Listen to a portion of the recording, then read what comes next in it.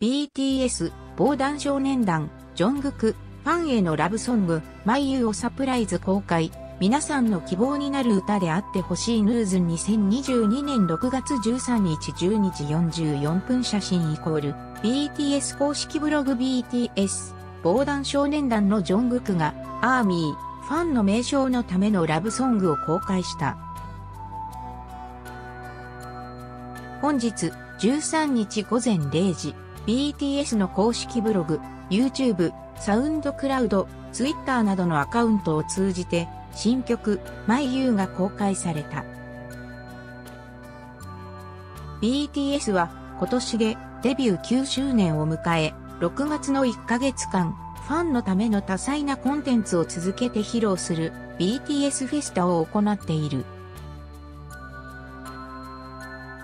ジョングクはメンバーたちと一緒に準備した練習映像、家族写真、7人のメンバーが一堂に会して話し合う 2022BTS の飲み会映像などを公開することにとどまらず、新しいソロ曲を発売し、ファンへの愛情を示した。写真イコール BTS 公式 YouTube ジョングクがメインプロデューサーとして完成した自作曲であることも意味深い。彼はプロデューサーのヒスノイズと共同で新曲マイユーを制作した。彼は事前にファンに要請した愛のメッセージをもとに今回の新曲の歌詞を書いたという。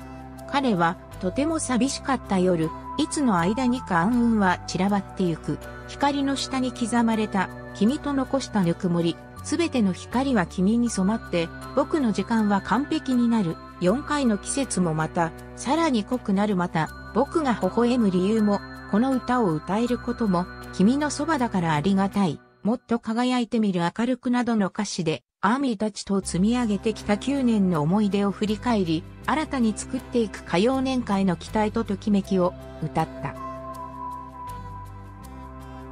ジョングク特有の清らかで甘いボーカルが穏やかなメロディーと調和した。音源とともに公開された映像の中で時計の針が指す数字もジョングクが BTS としてアーミーと共にした時間を指す。彼は2020年初の自作曲 Still With You を発売した日の6時5分 BTS のデビュー日を意味する6時13分などを映像に収め感動を与えた。作業のエピソードは BTS の公式ブログを通じて伝えた。ジョングクは僕が皆さんを思う時に思い出す。この感情で胸がいっぱいになって、たまにはこの全てのものが消えたら、あるいは夢ならどうしようと思うことがありますと伝えた。さらに、それでその内容をもとに曲を書くことになりましたし、曲の雰囲気がとても憂鬱になるのではないかと思って、綺麗な単語で歌詞を満たしてみました。皆さんのための歌で、この歌を作った僕自身も、聴いてるいる皆さんも、結局はもっと希望的で自ら光って力になれる、そんな歌になってほしいです。アーミーの皆さん、いつもありがとうございます。これからもっといい思い出をたくさん作っていきましょう。僕のアーミー、愛していますと付け加えた。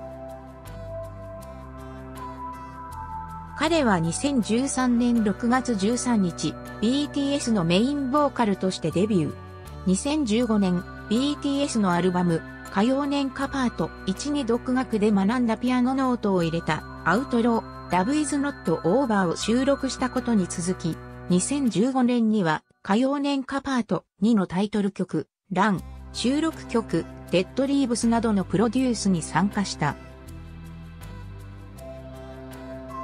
2018年には Love Yourself 10 Tear の収録曲、マジックショップを起点に曲の作業に主導的に参加してきた。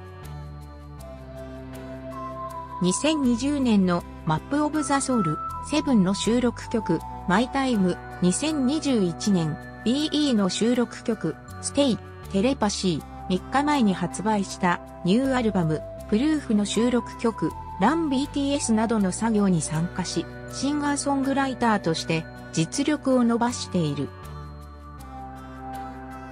元記事配信日時、2022年6月13日11時3分記者、ファンヘジン。